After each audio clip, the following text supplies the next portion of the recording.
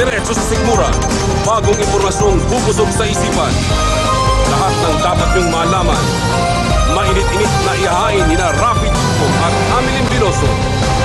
Makisalo na sa Balitang Tapat! Narito mga headlines ngayong araw.